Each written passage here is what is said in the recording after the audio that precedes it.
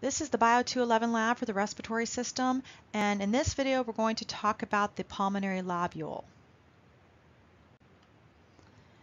Now please look for this figure in your textbook that shows you your bronchial branches and it goes all the way down to your alveoli. And we already talked about the bronchus first. And imagine when you think about the air passing through the trachea, it will travel through my primary bronchus, then it will travel through my secondary bronchus, and then down into my tertiary bronchus. Now, if you follow that tertiary bronchi all the way down, we have smaller branches called smaller bronchi, but you don't really need to know them for this class, but we do know that we have smaller branches that come off that tertiary bronchi. Now for this video, we're going to focus more on this region right here. We're going to focus on after we leave the smaller bronchi, we're going to have air extend down to the bronchiole, the terminal bronchiole, down to the respiratory bronchiole, and even down to the alveoli where gas exchange takes place. Now please find this figure here. This shows you a great textbook figure of what I'm talking about. Again, you can see my primary bronchus here, my secondary bronchus here, and my tertiary bronchus here where I've drawn that circles and it leads all the way down to this section right here and that's what we're going to focus on. This is where our bronchiole is located, terminal and respiratory bronchioles all the way down to your alveoli. So let's blow up this picture that I've just circled into the larger picture on this uh, image here and you can see my bronchiole pretty well there bringing air down into the lungs and that travels into my terminal bronchiole and then eventually to my respiratory bronchiole. Now, as the air passes through my respiratory bronchiole, it will travel through a series of ducts, and we call those alveolar ducts. And there's several of them, and these alveolar ducts supply air to all your alveoli. Now, when one duct supplies to several clusters of alveoli, we call that the alveolar sac. So you can see that cluster right there. Now, not all one alveolar duct supplies air. There's several ducts that are found in this uh, nice little cluster that we call a pulmonary lobule. So let me show you what a pulmonary lobule really is. This whole structure right here that I'm circling is what we refer to as a pulmonary lobule, where we have a whole organized unit or cluster set of alveoli that comes directly off of the respiratory bronchiole. We have several of these in your lungs. It's not just one set. So keep that in mind when you're going through this video. Now please look in your Atlas of Anatomy Images book. You can see a great picture of this pulmonary lobule and I would highly re recommend that in your Atlas book you see it labeled as pulmonary lobule. Make sure you know this whole structure is one giant pulmonary lobule and we have several of them in our lungs. Now, unfortunately, we don't have the bronchiole found here, but your bronchiole brings air into my terminal bronchiole as you can see here. Uh, one thing to look at with my terminal bronchiole is still has patches of cartilage left.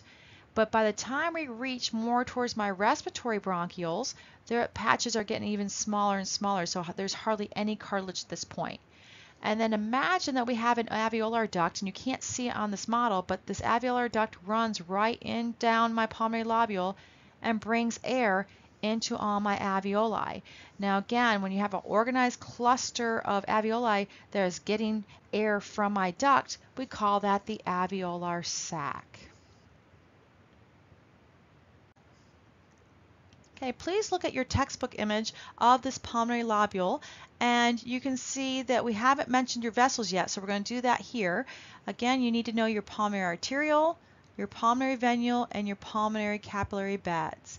So let's take a look at this. And again, remember when you think about blood flow through the heart, imagine where it's going.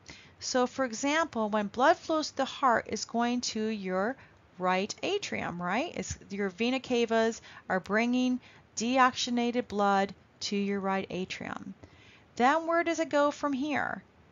Blood flows from your right atrium to your right ventricle. Okay, so from the right ventricle, where am I going next? we're going to travel through my semilunar valve. We're talking about my pulmonary semilunar valve. And we're going to transport blood out through my pulmonary trunk. I'm not doing very well with my writing here, but you can bear with me. And then where from my pulmonary trunk is my blood going to go? To my pulmonary arteries. Because arteries always carry blood away from the heart. So I'm going to put my pulmonary arteries here. And it's carrying deoxygenated blood, right? So we're always carrying deoxygenated blood. So I'm going to put deox right here. Deox blood.